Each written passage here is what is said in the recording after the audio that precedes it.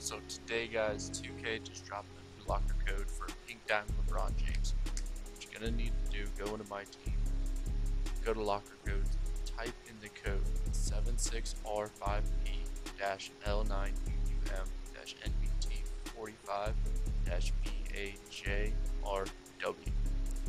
Once you type that in, it's gonna give you a free Pink Diamond LeBron James. It's 96 overall, and it's you know basically just a good version of LeBron James.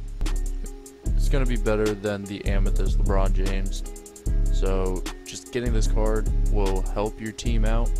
And if you're pinching pennies, doing budget squads, this code will help you out tremendously. It'll improve your team and let you dominate out on the court. Now, like I said, it's just a better than the Amethyst LeBron James. He's got all the basic LeBron stats. He's got a 76 open shot three, so you can't really be cheesing too much with three pointers with him.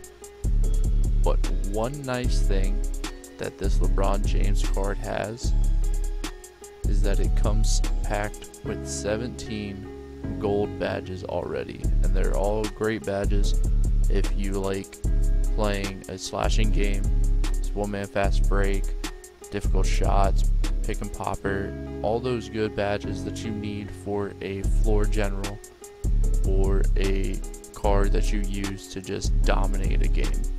So go use this code, get yourselves a free pink diamond LeBron James, and let me know how you guys do with him. And as always, Merry Christmas. I to talk to you guys later. Peace.